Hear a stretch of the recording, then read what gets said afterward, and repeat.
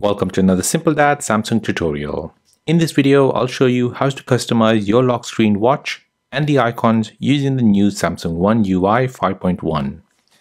If you're new on the channel and you want to find out more about your iPhone, your Android phone, or your social media apps, then go ahead and hit that subscribe button to become a part of the Simple Dad community. Hit the like button if you find this video useful. So now with the new Samsung One UI 5.1 update, you can now customize your lock screen time and the icons that appear at the bottom left and right. So let me show you how to do this. So first you want to go ahead and long press on the screen. Next you want to unlock it. Now once you do this, tap on your time and here you can now customize your time. So you can have no time, you can select different formats of time, or you can have an analog time, If you select a digital time, you can select different fonts.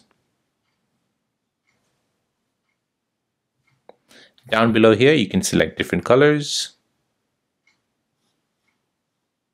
Now, once you've done that, at the bottom left and right, you can select different apps. So for example, I can set my favorite apps to my lock screen. So one will be TikTok here. And on the other side, I can have YouTube. And now once I'm done, I can press done at the top right. And now as you can see, my clock has been updated and I've got two new icons which I can use by tapping it through the lock screen.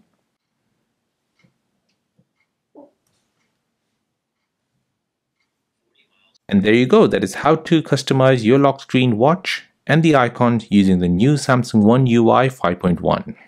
If this video is helpful, then please subscribe to see more videos like this. If you have any other questions, then please do let me know in the comment section down below. Thanks for watching and see you in the next one.